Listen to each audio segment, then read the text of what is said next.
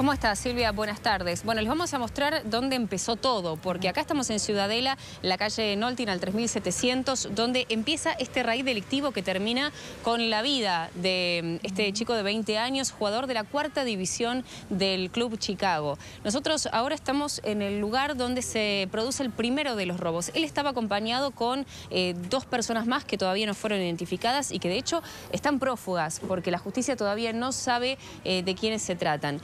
Este lugar funciona un centro de jubilados y pensionados, La Armonía. Aquí aparentemente había una celebración. Esto fue el sábado alrededor de las 11 y 20 de la noche. Había distintos autos que estaban estacionados aquí porque ya estaba terminando esta, esta celebración y la gente se empezaba a retirar. Bueno, en ese momento estos tres sujetos entre los cuales se encontraba eh, Aguirre, de 20 años, a mano armada le roban la camioneta a un hombre, aparentemente un taxista. Está una camioneta, una Cherry Tigo, eh, y a, punta de pistola logran disminuir hasta a este hombre, este taxista, y se llevan la camioneta desde este lugar. Un lugar que, como decíamos, es una celebración, había gente, eh, pero con total impunidad logran hacerse de este, de este vehículo. Continúan el digamos, el recorrido con esa camioneta, con esa Cherritigo, siguen por aquí y llegan a la colectora de la General Paz. Alrededor del número 11.000 de la General Paz se encuentran con quien iban a ser sus próximas víctimas, esto es lo que pensaron ellos, porque se encontraron con un Volkswagen Gol que estaba estacionado frente a una veterinaria y allí dentro había un policía que era retirado de la bonaerense de 35 años y su acompañante de 39. Como era una veterinaria que trabajaba las 24 horas, ellos aparentemente estaban allí frente a ese, a ese negocio y ellos aprovecharon que se estaban por descender del vehículo y de esa camioneta bajaron dos y a punta de pistola le abrieron la puerta al conductor, a este hombre de 35 años. Bueno, al ser policía retirado tenía un arma, un Taurus 9 milímetros y se defendió, se defendió a los tiros. Cuando los eh, delincuentes logran eh, subirse nuevamente a la camioneta, allí es donde sigue impactando los disparos de este policía retirado de 35 años, al menos cinco o seis disparos, y dos de ellos dan en Nicolás Aguirre este chico, este jugador de 20 años de Nueva Chicago.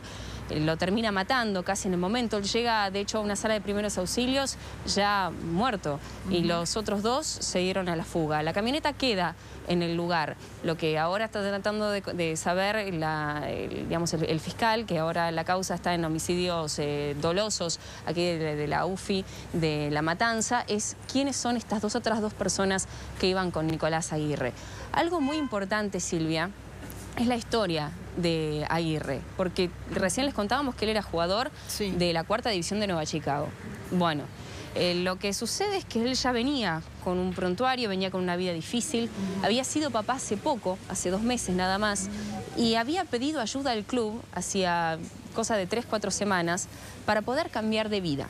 Él venía ya con problemas, eh, tenía problemas económicos, entonces había pedido al club eh, que lo asistiera para poder, eh, digamos, subsanar esa situación. Y el club le había provisto una ayuda psicológica, un asistente social, y se había comprometido a ayudarlo en la búsqueda de trabajo para que pueda salir adelante, ya que, bueno, siendo jugador de la cuarta división, no entra dentro de lo que es el, pago, digamos, no es un jugador pago.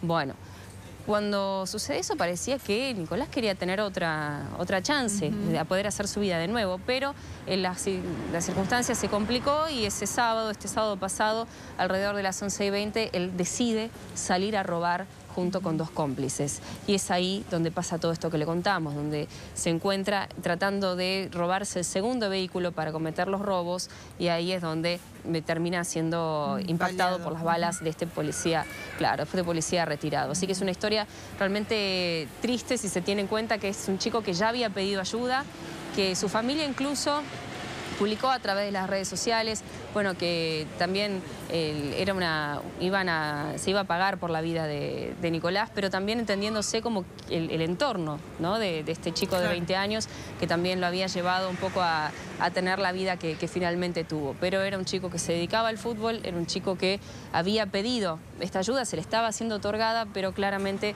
entendió que no era suficiente o necesitaba eh, salir a, a robar, sea por la razón por la que él considerara, y claro, terminó así porque porque finalmente se terminó encontrando con una presunta víctima que terminó siendo un agente retirado de la policía bonaerense y esto terminó